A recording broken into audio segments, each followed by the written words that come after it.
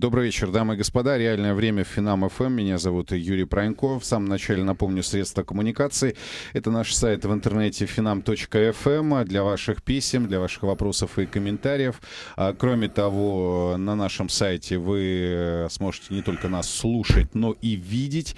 А, идет прямая веб-трансляция в интернете из московской студии Финам ФМ. Ну и, конечно, наш многоканальный телефон, его номер 65 10 99 6, код Москвы 495 для ваших звонков. А тема сегодняшней программы звучит так. Зачем Владимиру Путину президентство в период мирового кризиса? Мы продолжаем обсуждение главного события этих дней. Фактическое выдвижение а, премьер-министра а, на новую президентскую номинацию, которая продлится 6 лет. Ну и ни для кого не секрет, что а, ситуация на мировых ведущих площадках торговых, на мировом рынке сырья далеко не однозначная. И к этому необходимо необходимо приложить, безусловно, отставку э, вице-премьера, министра финансов Российской Федерации Алексея Леонидовича Кудрина. А этого человека я хорошо знал еще по работе в компании «Алроса». Мы были с ним знакомы, ну и сейчас знакомы, и общались не единожды. В общем-то, э, есть о чем поговорить, э, потому как Россия и мир то ли уже вступили в рецессию, то ли близки к этому. Я сейчас смотрю на котировки ведущих американских площадок, э, площадок они снижаются. Вот после двух э, дней а, роста, правильнее сказать, коррекции. Вновь мы видим снижение на нефтяном рынке, вновь вниз пошло золото. Ну, то есть ситуация далеко не однозначная. Плюс э, все в ожидании решения по Греции, проблемы в Америке. То есть сегодня мы э, коррелируем политику с экономикой и говорим о, о том, сможет ли Владимир Путин и его команда ответить на новые вызовы. А, мои гости сегодня это Дмитрий Орлов, генеральный директор агентства политических и экономических коммуникаций. Дмитрий, добрый вечер. Добрый вечер. И Александр Хандруев, а, бывший заместитель председателя Центрального банка России, а, ныне первый вице-президент Ассоциации а, банков России. Александр, рад вас видеть. Добрый вечер. Добрый вечер. Господа, ну первый мой будет вопрос, все-таки я его всем задаю. Была ли для вас это новость, да, о том, что Владимир Путин вновь решил бороться за президентскую номинацию? Как вы ее восприняли в этот день? Дмитрий, давайте с вас начнем, да, потому я... как вы непосредственно были, ну, в двух шагах от э, премьера, Нет, ну, да? Не в двух, я думаю, в десяти. Но это не суть важно. Дело в том, что действительно я сидел, э, собственно, на той трибуне, которая за то есть на, э, на гостевой трибуне за, соответственно, трибуной, на которой выступали, за которой выступали Путин и Медведев, поэтому могу свидетельствовать, да. Ну, во-первых, э, действительно, премьер-министр выступал, э, значительная часть текста, с которым выступал премьер-министр, был написана им от руки. Это было видно. И поэтому, конечно, многое, видимо, из того, что произошло, не фундаментально, но, так сказать, не фундаментальные какие-то вещи, которые бы там были заранее согласованы, что было сказано, а, а детали, я думаю, действительно в режиме экспромта были а, решены. Вот. А, и, конечно, все это было неожиданностью, безусловно. А, вот. Ну, некоторые вещи аналитики а, типа Дмитрия Орлова предсказали, ну, например, то, что съезд там будет разбит на две части, там, что выдвижение там Путина более предпочтительно и так далее. Но э, никто не мог, практически никто не мог предположить, что интрига, которую по законам жанра, так сказать, нужно отнести на конец, Угу. Вот, она, так сказать, будет... Получит свое да, разрешение будет разрешена вначале. Более того, мы угу. когда, так сказать, с Вячеславом Никоновым мы сидели рядом, политологи, в общем, нам было приятно обсудить происходящее. Когда, значит, э, заявление прозвучало, что Медведев сосредоточится на партийной работе, да, он же выступал первым. А Вячеслав Алексеевич мне сказал, ну вот э, я же предсказывал, что он там в Думу пойдет, так сказать, а через там 40 минут ситуация э, совсем изменилась. В общем, это было, безусловно, интересно, и, э, значит... Но вас это не удивило? Э, в смысле? То, что Путин выдвинут на пост... Ну, удивил момент. А то, что именно Путин выдвинул на пост президента, конечно, не удивило. Да, еще одно замечание, это, конечно, э, то, что э, фамилия президента вписывалась в, бю- в бюллетене для голосования э, прямо на съезде, э, так сказать, очень волнующе. Я думаю, что и та ручка, которую писал премьер, и ручки тех девушек, которые вписывали Медведева Дмитрия Анатольевича в бюллетене, я думаю, они заслуживают того, чтобы в истории быть представленными. Это Дмитрий Орлов. Александр, Да, какие вы ну, чувства испытали? Да, ну я вот близко не был. Я вообще живу по принципу подальше от царей. Э, Вот. А Для меня это было неудивительно, э, потому что я вот уже два пари выиграл. Одно пари у Станислава Белковского э, в 2008 году, что я сказал, что он не, уйдет из власти. И второе в августе выиграл, что опять-таки сказал, что опять будет Путин президент. Вот. Э, На этом, надеюсь, неудивительно. бонусы Нет, ну, выигрышные, они там Ильич, существенные? Да, нет, ну, речь идет, конечно, о э, бутылке, хотя я трезвенник. Ну, Стас выпьет. Да. Ну, э, по существу, по существу Владимир не уходил. И более того, он уйти не может. У него и выбора не было. Потому что его элита к власти привели, и его элита от, из, из власти не выпустят, не отпустят. Это то же самое, как вот мы говорили в свое время, якобы Брежнев хотел уйти, да? Может, он и хотел уйти, но кто же его отпустит? Александр, то есть вы хотите сказать, что Владимир Путин является заложником, э, в том числе тех финансово-экономических Я- групп, Я бы которые так сказал, что это не так вот прямолинейно, да, и э, что ли, э, вот э, однозначно, однозначно, но то, что есть определенные не только как бы э, политические какие-то обязательства взятые перед собой, да, я понимаю, вот, чувство ответственности, понятно уже, и политический опыт, но и расстановка э, политических элит имеет очень большое значение. Вы знаете, а, а, Владимир Путин, безусловно, противоречивая, крайне противоречивая э, фигура и как лидер, и как э, политик. Э, Вот я буквально накануне получил приглашение на мероприятие, которое будет на следующей неделе, в котором будет принимать участие премьер. Это бизнес-форум. И на нем даже предлагается задать вопрос э, и сформулировать его. То есть, в общем-то, премьер подчеркивает такую открытость определенную. Ну, это можно, конечно, воспринимать как предвыборный шаг, но, с другой стороны, э, это достаточно серьезный шаг, потому что разные люди, разные сообщества, ну, в первую очередь, предприниматели, которые, кстати, имеют массу претензий к нынешнему правительству Российской Федерации, в первую очередь, по политике налогообложения. И тем не менее, вы знаете, я вспомнил э, прошлогоднее выступление Путина на этом же форуме, но тогда меня не пригласили, а вот в этом году пригласили, да, уж не знаю, э, звезды так совпали, где вот, э, Дмитрий, я хочу обратить ваше внимание да, на эти слова. Путин сказал, что мы никогда не развивали экономику госкапитализма. Мы будем строить, это прямая цитата, либеральную, рыночную, конкурентную экономику в Российской Федерации. Вот в тот момент, когда я услышал, ну, благодаря прямой веб-трансляции, да, э, я, конечно, мне хотелось подписаться под каждым этим словом. И вы подписались. Я подписался, да, но факт жизни. Вот смотрите, я смотрю на структуру экономики России после кризиса 2008 года. Я смотрю на новые заявления о том, что мы будем вливать фактически вот этот курс на новую индустриализацию, да, уход Кудрина, в общем-то, такого достаточно жесткого монетариста, да, а, означает ли это, что действительно команда Владимира Путина меняет, а, парадигму, и признает свою ошибку, то, что было до этого, это не совсем то, что хотелось построить. Б. А насколько действительно могут соответствовать реальные слова реальным делам, я имею в виду реальную рыночную экономику, ну, там, может быть, кого-то смущает слово либерализм, давайте ее опустим, рыночную конкурентную экономику, да, это более принципиально. И В. Самое главное, вот по вашему мнению, у него есть люди, на которых он мог бы опереться. Потому что я прекрасно понимаю, какой бы ни был замечательный один человек, он ничего не сможет сделать. Уход Кудрина я воспринимаю как удар именно по Путину, потому что, ну, все-таки 11 лет, да, Александр, по-моему, 11 лет они вместе работали. Две- Почти, Больше, почти если 12, исполняющий 12, обязанности, 12, да. 1999 года. А знакомы они еще раньше по Петербургу, Вечность, да, да. и, и так Вечность, далее. вечность. Дмитрий, вот ваши ответы на вот аж череду вопросов. Череду вопросов. Ну, э, прежде всего, я думаю, что у Путина э, есть свобода воли и свобода выбора к вопросу, значит, о том, что он заложник ситуации и так далее. Значит, он, вот, например, в этой ситуации даже, если считать, что он а, практически точно возвращался на пост президента, что по этому поводу был, ну, если не консенсус, то большинство экспертов, так сказать, в этом сходились.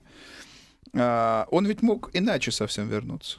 Он мог, э, опираясь на Единую Россию, будучи лидером списка, победить на этих выборах по сценарию седьмого года, а, то есть нагнетанием, так сказать, э, а, нагнетанием формата, значит, э, референдума, да, например, а, мог бы после этого установить персоналистский режим откровенно. Ну и вообще, так сказать, не стесняться в, э, в формате, да.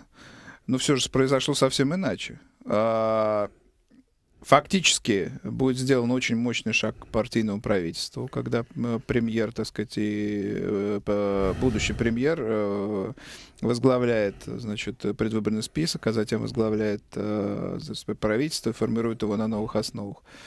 Вот. Власть-то дифференцированная становится. Власть становится дифференцированная.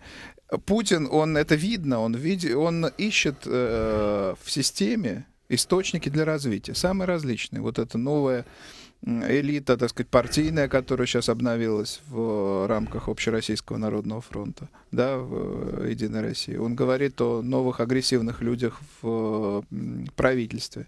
То есть он, э, агентство стратегических инициатив, он ищет импульсы в системе. Он не банальный там, а, так сказать, э, прожигатель ренты. Это совершенно точно. Угу. Вот. А, это, так сказать, первое соображение. Значит, по поводу... Э... То есть пункт первый. Команда у него есть. Команда он может формируется, и при, при, при содействии Медведева она будет и сформирована. Есть равнозначные да, личности, как Алексей Кудрин? Ну, с Кудрин это отдельный вопрос, его, так сказать, стоит, угу. мне кажется, еще обсудить. Хорошо. Вот, значит, э, курс. Очень много заблуждений в отношении, так сказать, Путина. Он никогда не говорил о том, что он сторонник э, государственного капитализма. И мы с вами вот это не раз, кстати, здесь обсуждали. Никогда он этого не говорил. Да, государство активно вмешивалось в экономику в период э, кризиса. Да, оно скупало активы и, так сказать, там поддерживало на плаву, на плаву многие компании. Да, оно давало а, а, значительные кредиты. Но вспомним, что сказал даже по этому поводу Путин в правительстве. Мы получили от этих, мы их, во-первых, добились возвратности, во-вторых, мы даже получили прибыль. Сейчас вопрос не о том, какая получена прибыль, а о подходе. Угу. Разве можно этот подход назвать каким-то административным там или, а, значит, э, забюрократизированным и прочее? Вот, так что э, он, безусловно, э, главное, он, он человек сторонник развития, вот что главное. Развитие и поиска самых различных э, динамики в системе, самой различной. Вот, это, это очевидно для меня. А, вот, а угу. значит, э, либерал, не либерал, ну, конечно, его либералом не назовешь. Но э, его речь, допустим, на 12-м съезде, она, что в ней, мне кажется, главное? Главное — а, ну, в сохранении социальных приоритетов это понятно, там многих других. Главное, а, он пытается создать вот новый, более благоприятный, что ли, интерфейс, какую-то, так сказать, систему а, взаимодействия государства с гражданами и с бизнесом, которая была более благоприятна. Более благоприятно, более комфортно. И бизнес, и инвесторы, и граждане. Во всем этом, конечно, новый Путин, потому что он, он не актуализировал эти вещи. Они были в его программе, в его бэкграунде латентно, но он не шел с этим, так сказать, вот э, э, с открытым забрал. О Кудрине. Э, я думаю, что это результат, э, в общем, э, грубости министра финансов. Ну, кто делает такой, кто, кто потерпит такое заявление в США? Сделанное. К тому же э, ему дал, э, значит, возможность оправдаться э, президент. Э, Кудрин же ей не воспользовался. Ну, ну а, я, а если... слухов, а, якобы Алексею Кудрину был предложен пост премьер-министра, и вот э, с этим и связана такая Нет, он, жесткая эмоциональная его, его, реакция. Его выступление последнего времени, я не знаю, был ли ему предложен пост премьер-министра, ну, я об этом не информирован, но, но значит, э, его... На информационном поле появились Конечно, такие его риторика, да. она явно свидетельствует о том, что он, он выступал за... Он формулировал уже такие масштабные программы макроэкономические, он выступал с политическими заявлением, было ясно, что он готовится к этой роли.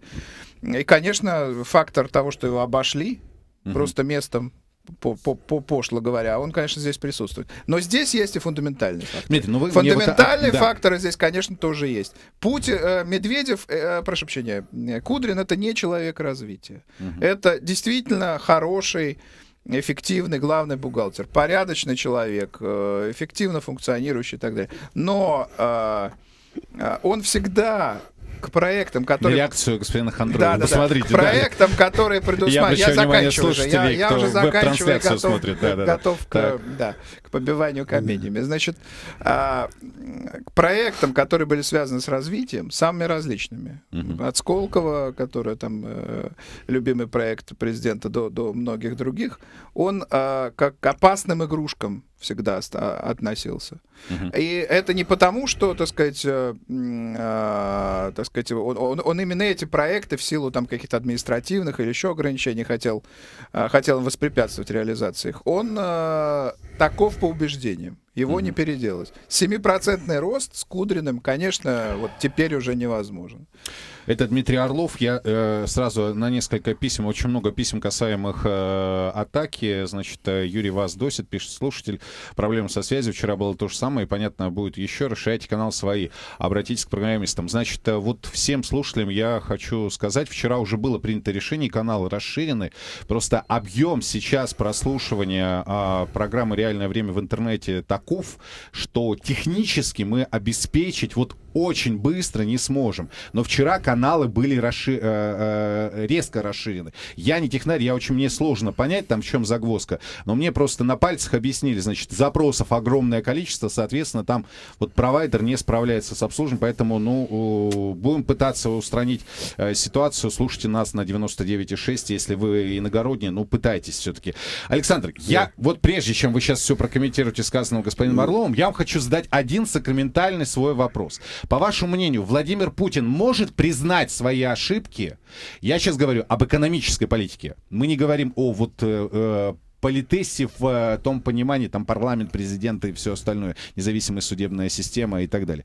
Он может признать, что за 11 лет фактического нахождения у власти он де-факто построил госкапитализм, при этом на словах он действительно, как говорит Дмитрий, он не объявлял его никогда и нигде, но если мы смотрим И более того, препятствовал ему. Нет, На минуточку, словах, я беру да. только факты. Если мы слова. Александр Только факты. Хандроев, да. что в последние шесть примерно э, лет э, происходит э, огосударствление экономики, начиная с сырьевых и кончая сектором и кончая банковской системой. Это факт. Это факт.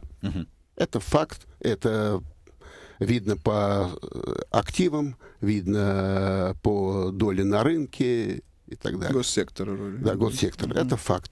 Причем это началось э, до третьего квартала 2008 года. То есть до того времени, когда кризис пришел на э, российскую землю. Э, Глобальный финансовый кризис. Вот, э, Юрий, вот вы говорите о, о своей ошибке признать. Понимаете, в чем дело? До этого мы видели трех Путиных. Они были разные. Путин образца первого срока это человек, который все-таки исповедовал э, э, ценности конкурентной экономики. До, 4, до До 2004 2004 года. года. Мгм.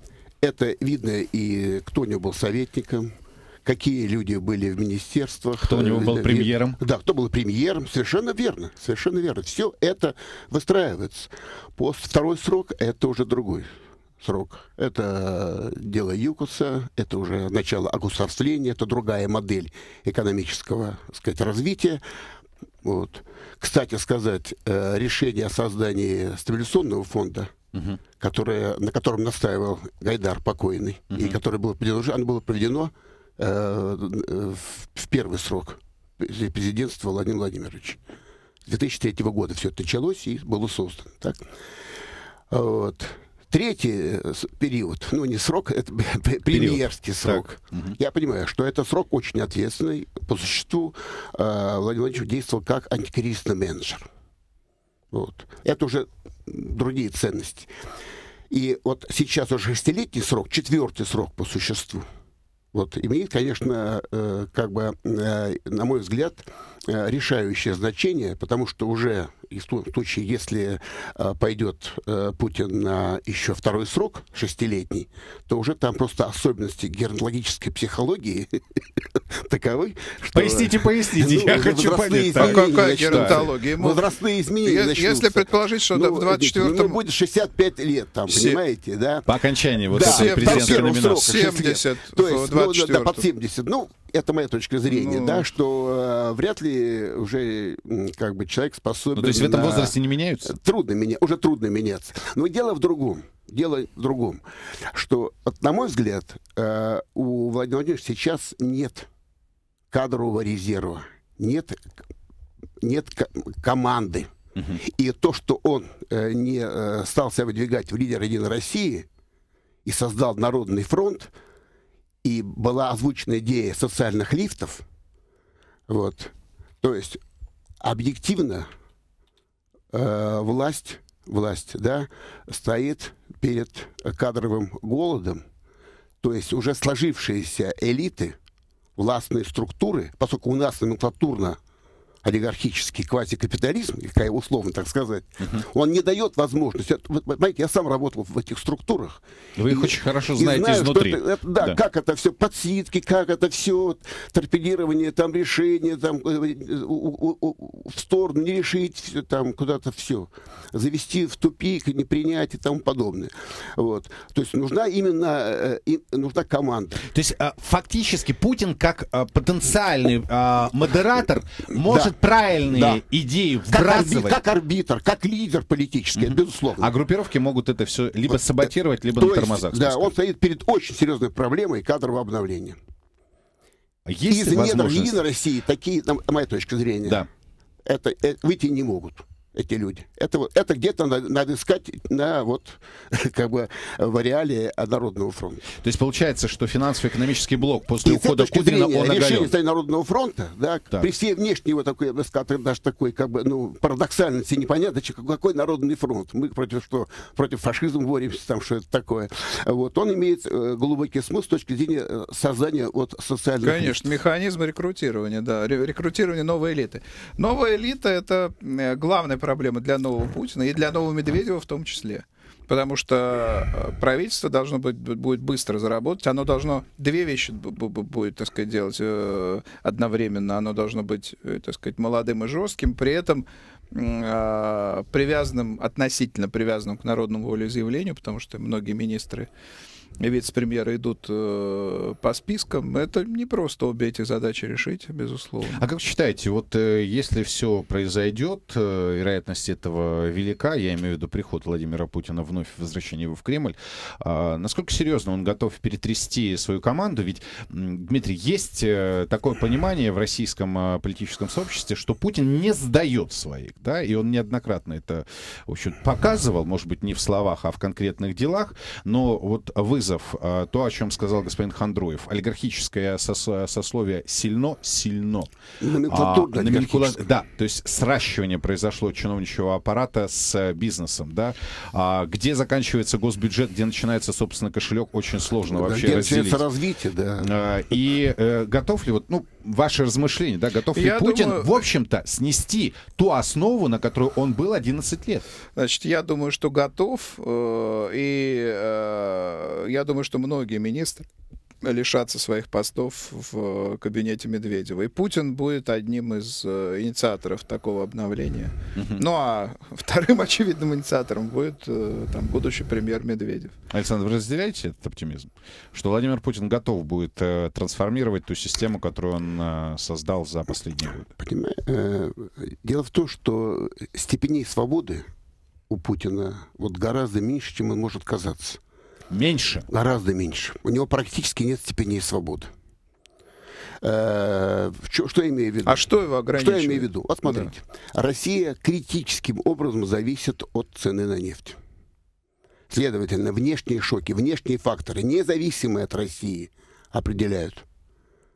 Да, кроме того, сейчас появились уже э, конкурентные предложения.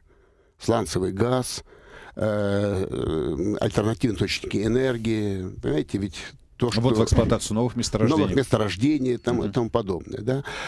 С более низкой себестоимостью. Совершенно верно. Мы еще не в полной мере оценили перевод уже автомобильно, автомобильного а, парка с бензинового на электрические там двигатели и тому подобное. Это все, это все предстоит.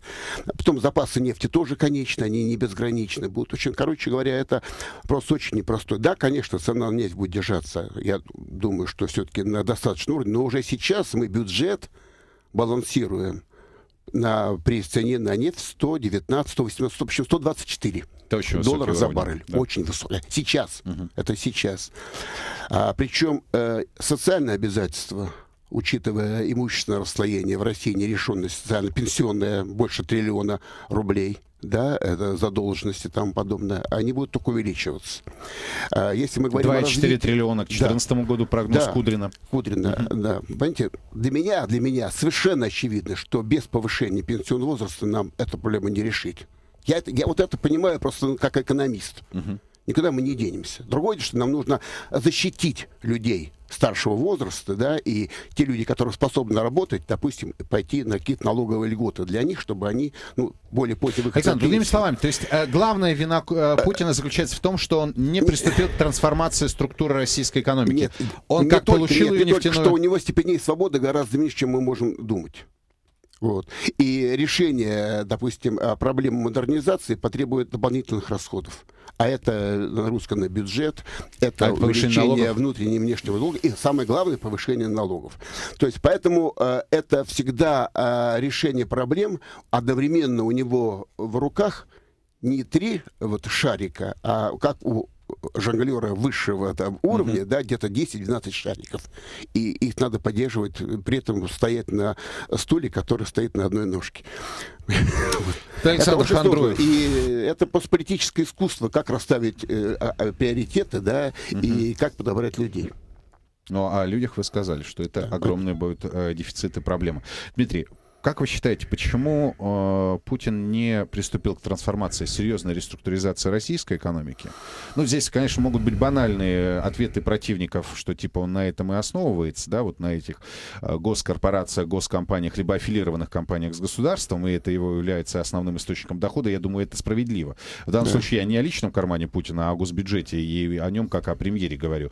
Но э, сейчас вот я постоянно слышу, я думаю, что на следующей неделе я на этом большом форуме форуме вновь от Владимира Путина услышу, что необходимо слезать с нефтяной иглы, необходимо проводить структурные реформы. Э, возможно, он вновь скажет, мы будем строить э, в очередной раз рыночную конкурентную экономику. Что мешает, вот, э, ваш взгляд, что называется, с той стороны?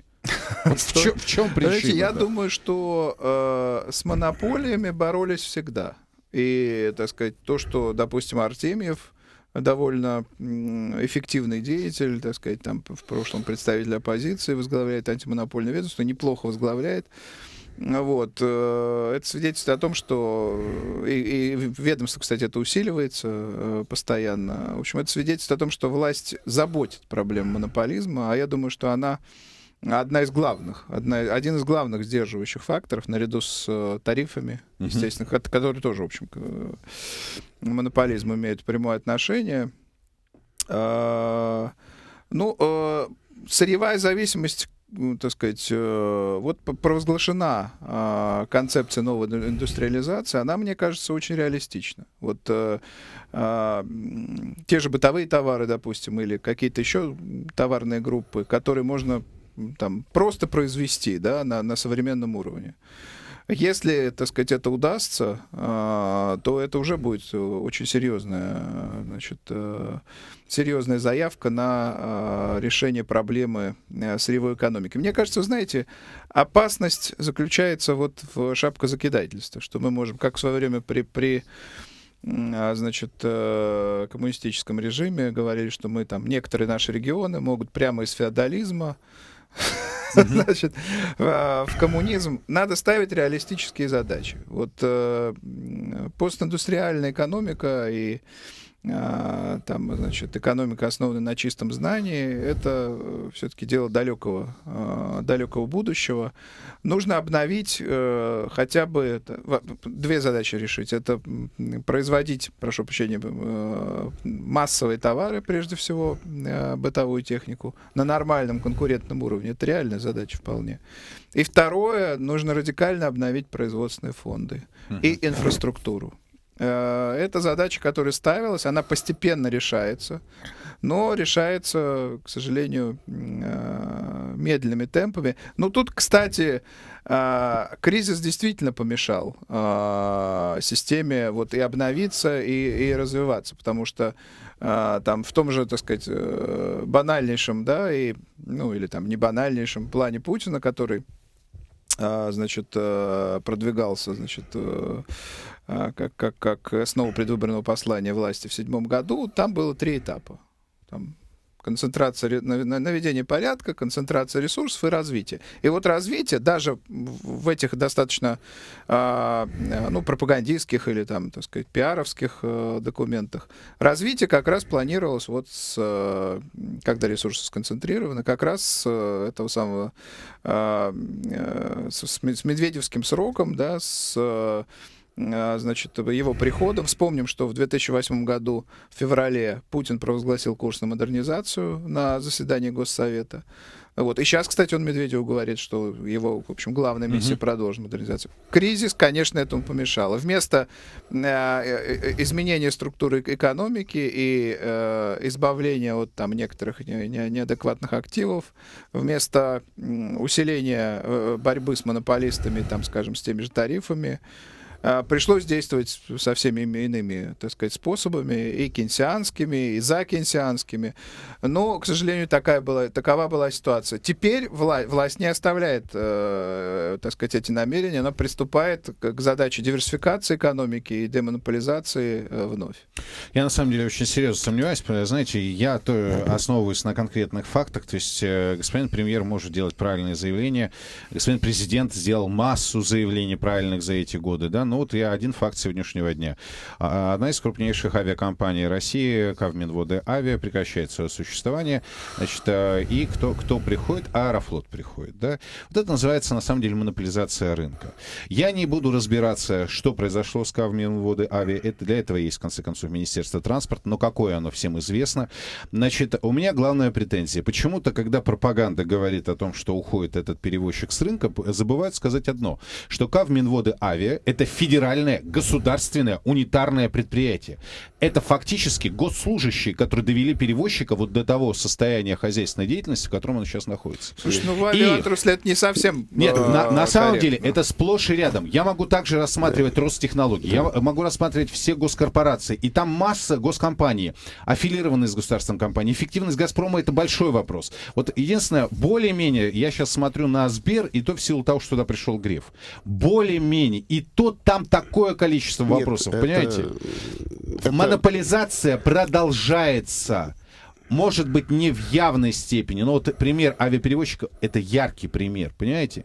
Вот дальше можно правильно говорить слова о демонополизации, о реструктуризации. Александр, но я не вижу. Э, ну, я вот эту тему... А программа приватизации отнесли я, уже непонятно Юрий, я куда. очень тему продолжу, что да. Дмитрий начал. Э, наши проблемы да, в условиях э, оттока капитала, утечки мозгов и людей, о чем мы сейчас говорим, решить невозможно. Вот весь мой как бы опыт экономиста и полученные знания говорят, э, что если Россия не станет привлекательной для инвесторов, у нас нет внутренних историй, для внешних инвесторов прежде всего, у нас, к сожалению, нет достаточных внутренних ресурсов вот, э, чтобы решить проблему вот этого структурного маневра в экономике. Поэтому инвестиционная привлекательность для нас это задача номер один. Конечно. Начиная доверие, с мирного безусловно. договора с Японией, да, и кончая, так сказать, прозрачными политическими отношениями э, с Европой и США.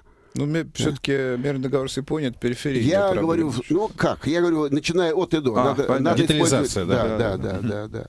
То есть э, вот России, России, да, действительно нужно э, все-таки ну, поменять э, свой образ. Э, это, как говорил Черчилль, это загадка, тайна за, завернутая, в, загадка завернута в тайну. И вы считаете, что в предстоящий шестилетний срок э, именно с э, президентом Путиным это возможно? Нет, ну, я говорю, что нет, нет, это я не скажу только к этому. То, что есть, э, вы знаете, индекс инвестиционной привлекательности России, где там замыкает первую сотню, да, там где-то, ну, по разным там показателям, от 40 до там 93 ну, место. Да, страна, далеко не привлекательная.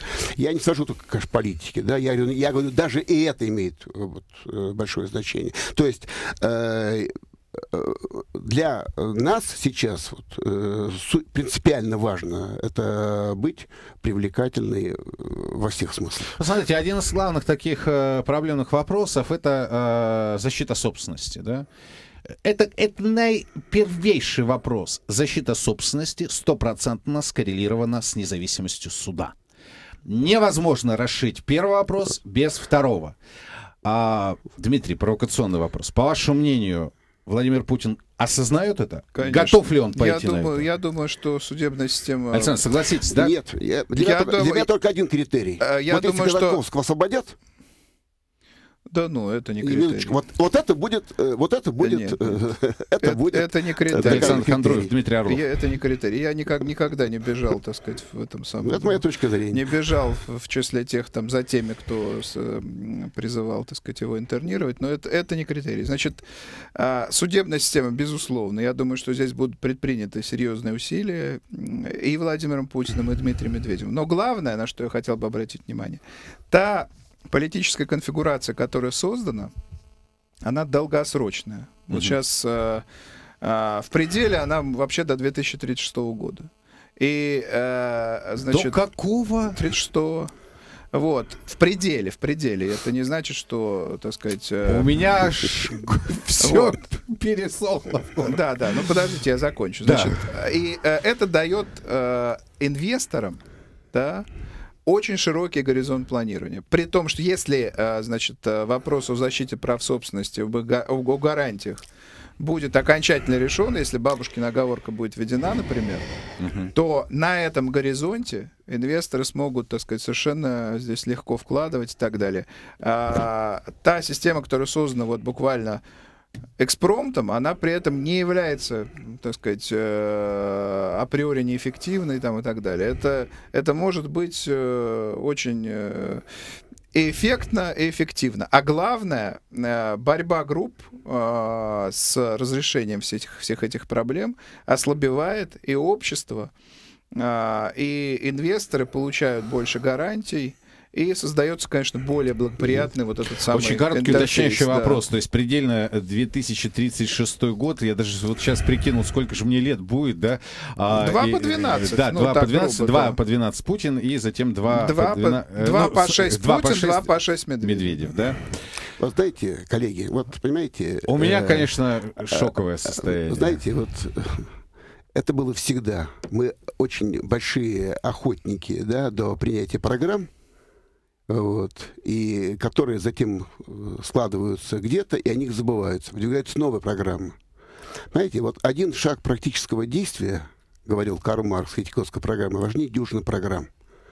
Вот э, сделайте публичные процессы против тех людей, которые убили Магнитского. Освободите Ходорковского. Это будет лучший, лучший вклад в начало реформы судебной системы. Потому что, понимаете, я никогда не... Мне всегда смешно видеть, когда по каналам телевидения вот люди, простые люди говорят с премьером или с президентом, и он решает проблему. В станицу дают воду. Понимаете?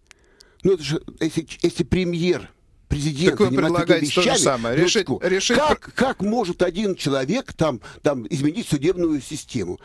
Это необходимо показать пример, дать конкретный. Нет, вы на самом деле говорите про вот. конкретных а людей, а которые говорить, обращаются с помощью, а предлагаете то же самое. Минуточку. Вмешаться в два судебных процесса и этим якобы нет, судебная нет, реформа нет, завершится. Здесь за этими, за этими отдельными фактами, да, вот, э, стоит, стоит вся система принятия решений.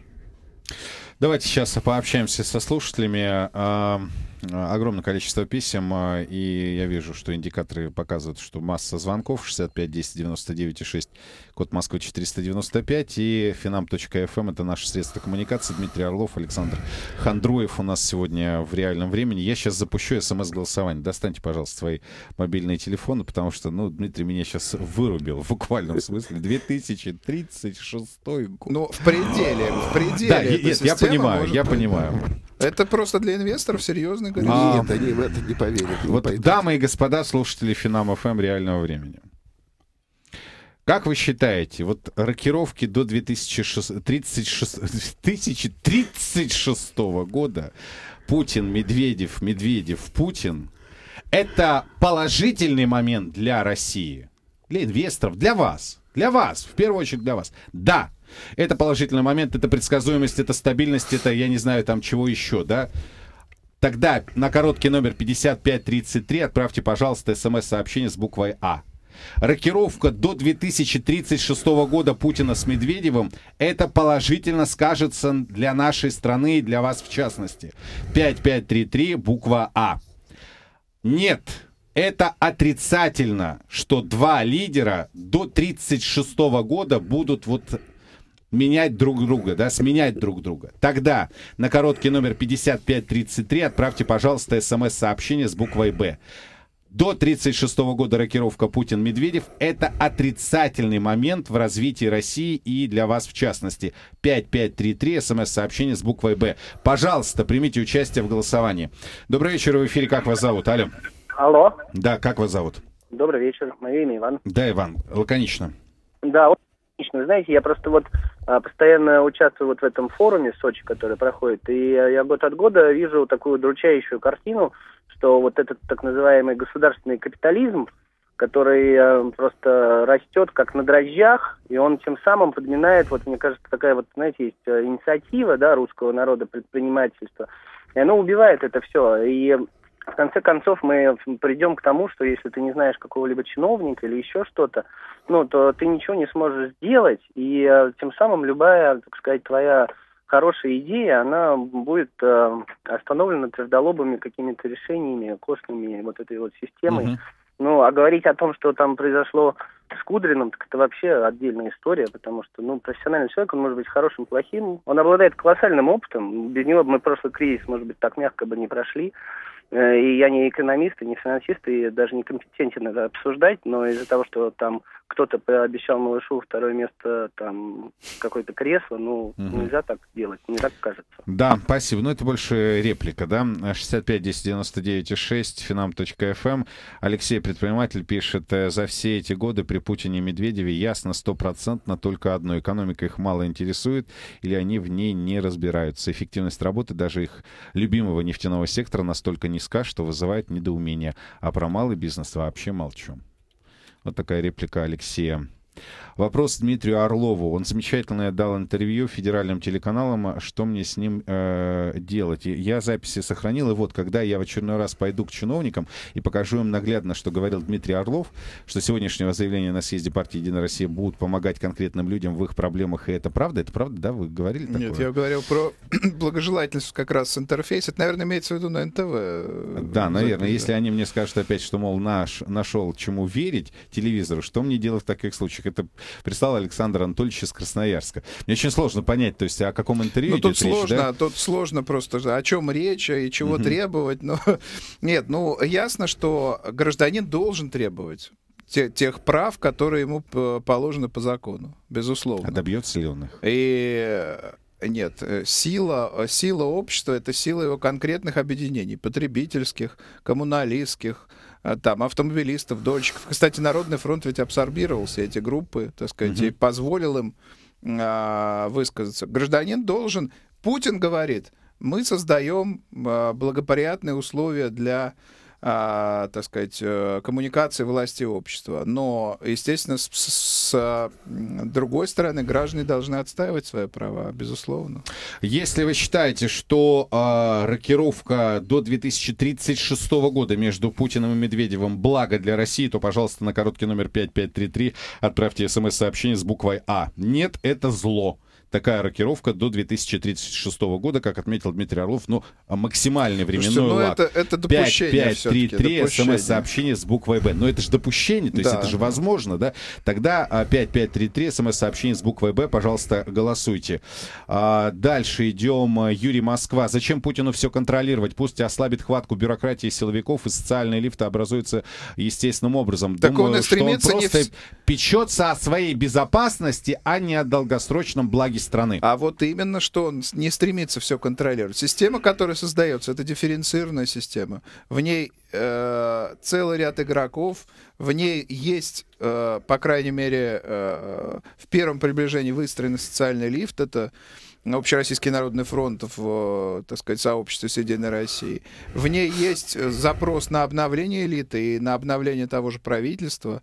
Так что он бы мог бы почивать на лаврах совершенно спокойно. Выиграл бы выборы, так сказать, убрал бы Медведева и сидел бы, так сказать, совершенно тихо и концентрировал власть. Но он идет как раз по другому пути, по пути развития и по пути дифференциации власти. Александр, он как? не унылый рентополучатель Путин, нет. Что скажете? Я повторю то, что сказал в начале. Мне представляется, что Путин во многих отношениях э, является заложником Мгм. Уже э, той системы, которая была создана. И начало этой системы, если взять новую Россию, положил покойный э, Ельцин, Мгм. поскольку он сделал преемником Путина, и Путина к власти привела, мы знаем, сказать, большая семья, да? Э, Вот. Другое дело, как сложились малая э, семья. отношения. Ну, малая семья. Ну, нет, большая семья. Семья. Я, большая семья, я имею в виду и людей, которые не являлись родственниками А, ну, Бориса понятно, Николаевича, да, которые сейчас живут в Лондоне. Вот, в частности, я вот это тоже имею в виду. Э, Вот. А потом сформировалось, э, с- сформировались новые, как бы, элиты, и эти элиты уже пустили корни, их уже дети занимают руководящие посты в коммерческих структурах. Это не все так просто. Так все просто. Сложился определенный баланс сил и интересов. Вот. И в то же самое время для того, чтобы проводить структурные реформы, необходима кадровая революция. Вот это моя точка зрения. Слово революция я не люблю говорить, хорошо, кадровое обновление, скажем так. Ну, Путин к обновление этому не революции это готов. разный И формат. он к этому не готов. И вот я думаю, что В силу того, него- что он заложник. он заложник. И как раз вот Народный фронт это попытка выйти из этого э, капкана, тупика. Не факт, что получится. Ну, дай бог, что получилось. Добрый вечер, вы в эфире. Как вас зовут? Алло. Здравствуйте, Петр, зовут меня Москва. Да, Петр, пожалуйста. У меня вопрос э, такой. У нас многие эксперты говорят про такие вещи, как инвестиционная привлекательность, про то, что все наши проблемы, они связаны с тем, что в России нет технологий, вот придут инвесторы, у нас появятся технологии, но при этом никто не говорит о сути нашей экономики. По сути, наша экономика, она является колониальной. Есть такой режим Каренсиборт, это когда каждый э, э, рубль, напечатанный в России, по сути, является распиской, заверенной Центробанком, э, гарантирующей то, что такой же доллар лежит замороженный э, в на- в наших э, золотовалютных резервах. Так. Вот, так может искать проблему прежде всего в этом, потому что такая система, она любую экономику делает экспортно ориентированной. Да, спасибо. Они- Очень коротко. Очень коротко, Александр да. Хондроев. Очень приятно, что вот слушатели знают про currency board, но в России нету э, валютного управления. Конечно, Как раз нет. э, обменная, э, политика обменного курса Банка России сейчас очень-очень профессиональная, да, и, И гибкая. сб- гибкая, сбалансированная. Э, Вот. А что касается вот э, сути этого вопроса, что действительно, действительно зависимость от сырьевого экспорта для нас является и источником нашего богатства, и одновременно э, наших проблем. А, дальше идем. Алексей пишет. Странно слышать от Дмитрия Орлова, что Путин человек динамики и развития. Везде его, наоборот, называют консерватором. Кроме того, о каком выстраивании отношений с частным бизнесом может идти речь? Вспомните того же Ходорковского. Ну, вот нас вновь возвращает к этой теме. Все-таки, на самом деле, как э, Нет, рыночная ну, свободная экономика Вы знаете, была и проблема до, консерватизм. до самого недавнего времени. Проблема совмещения лидерства развития, а, лидерства перемен и лидерства стабильности. Нужно было найти и схему, и, так сказать, определенные а, содержание, да, которое, э, так сказать, э, этому бы соответствовало. И вот как раз образ нового Путина и Медведев во главе обновленного правительства и а, значит, новая элита, которая концентрируется в Единой России в Народном фронте, они как раз а, и позволяют решить вот эту проблему сплава стабильности и перемен и в образе Путина, и в его политике. Угу. Владимир Одинцова, мне непонятна идея индустриализации, как ее объяснить умным людям, которые э, понимают в современной экономике смысл производить то, что не можешь продать, или если ты этого, э, или если ты это говоришь, что это возможно при внутреннем спросе, а, он, у нас бедная страна, никто не будет покупать Лада Калина, если у него нет денег. Сплошной популизм, в том числе и с Кудриным, э, его лозунг «не мешайте нам тратить деньги», э, лучше бы сказали, как увеличить налоговую базу, а не налоги. Но это вот реплики идут уже уже такие Нет, ну Лада Калина, жесткие. можно я отреагирую? Да. Лада Калина покупают, и не нужно обижать, э, унижать людей, это огромное количество, которые покупают эту технику. Значит, а, спрос будет, спрос будет. Э, когда в восьмом году стоял вопрос о банкротстве АвтоВАЗа, Путин волевым решением это дело сохранил. И спрос на эту машину есть. И сохранены миллионы рабочих мест.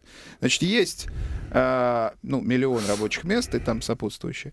Значит, э, есть э, э, целый ряд производств откровенно отсталых, э, что там говорить, там, э, неконкурентоспособных вывести их на текущий конкурентоспособный уровень, на уровень хотя бы, а, так сказать, Восточной Европы. Почему а, Чехия может собирать немецкие автомобили там качественно? А... Ну, что вывести? Ну, ну, ну, там собирают э, нем, это немецкая, немецкая да. машина, понимаете, немецкие технологии, да. У нас тоже сейчас собираются собирают, э, машины, и BMW собираются. Ну, тоже можно... Тоже, Toyota и так далее. И многие да. Toyota собирают. Да. То же ну, самое что, можно сделать. Что значит выйти на, хотя бы на Восточной Купить ну, вы, лицензии, ну, внедрить их, вот это и есть новая индустриализация. Знаете, невозможно, невозможно при помощи, вот, э, Дмитрий, пожеланий каких-то, вот, лозунгов выйти.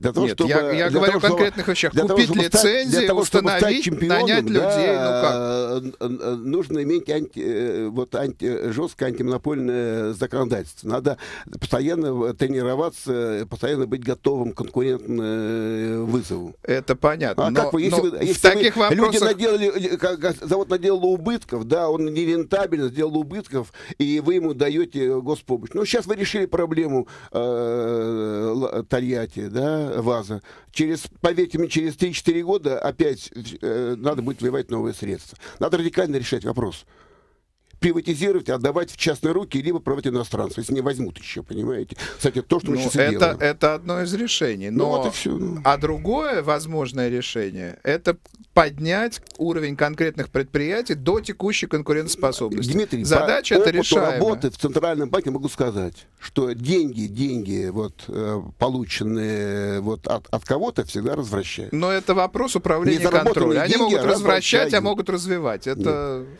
Ну, это Еще с, нашей, с нашим уровнем коррупции, к сожалению, действительно, это большая проблема. Александр пишет, «Э, не кажется ли вам, что Путину просто деваться некуда, как идти в президенты, так как они с Медведевым э, все запутали в стране, начиная от разрушенной армии, коррупционной полиции, запутанной пенсионной реформы, безобразным здравоохранением и так далее. Ну, Поэтому, если будет социальный взрыв, то Путину придется отвечать перед народом. Вот он и защищается президентством. Очень короткие ответы. Я думаю, что это не так. Не так. Не так. И я думаю, что это не так. Вот смотрите, есть все-таки общая точка а, соприкосновения. Как говорится, консенсус. А, Дмитрий Орлов, Александр Хондроев и итоги СМС-голосования. 4% считают, что вот эта рокировка до 2036 года оптимальный и благостный вариант для России и для лично слушателей Финам ФМ. 96% а, видят в этом отрицательный а, момент. Спасибо всем, кто писал, кто голосовал, кто звонил. Далее новости.